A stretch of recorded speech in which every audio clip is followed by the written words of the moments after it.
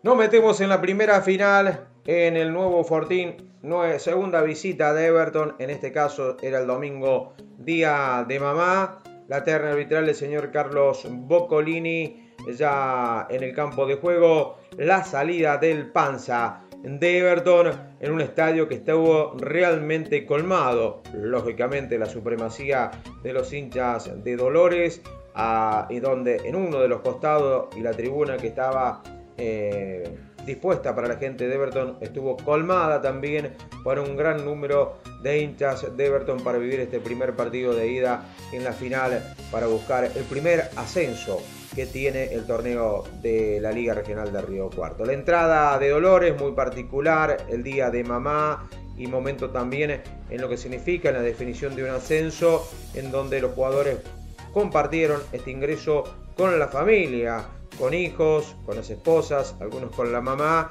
en este ingreso realmente muy tranquilo, sereno del conjunto local, recibido con el colorido del humo, también con papelitos para un gran recibimiento para el equipo de Mariano Dula. Momento del saludo internacional y eso ya va marcando eh, lo que era la inmediatez para el comienzo del partido.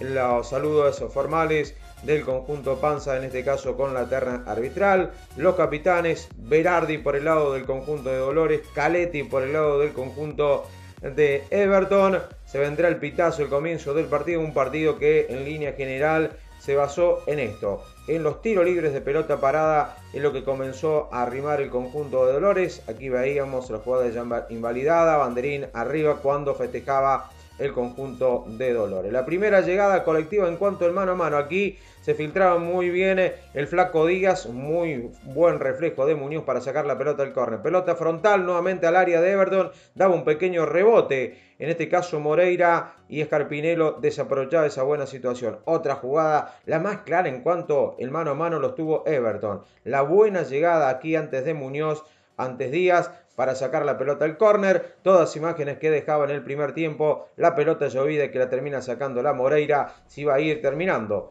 Como sucedió con un Dolores que solamente a través de pelotas paradas podía inquietar en el área rival. Se terminaba la primera parte, un segundo tiempo lógicamente obligado como marca cada libreto de una defensión así de salir a buscar el partido en la ida, el local. Y en esta conseguía a los 6 minutos esta infracción de Garro para marcar el penal, en este caso contra Escarpinelo, el hombre más peligroso que tiene el conjunto de Dolores, que no estuvo en sus grandes luces, pero estuvo en esta, para generar el penal y después para cambiarlo por gol, con suspenso, en este caso con un Germán Moreira que adivinó muy bien sobre su derecha, la pelota terminó filtrándose lentamente por abajo del cuerpo y terminar concretándose en la apertura del marcador en el nacimiento de la segunda parte vemos nuevamente la imagen la posibilidad de no poderlo controlar en este caso el hombre de Tosquita. Pero mucho no había pasado de esa alegría que eh, tenía el conjunto local. 10 minutos, buena jugada de Quintero que ya estaba en el campo de juego, descargándola para Aguilera, aprovechando espacio y la calidez del enano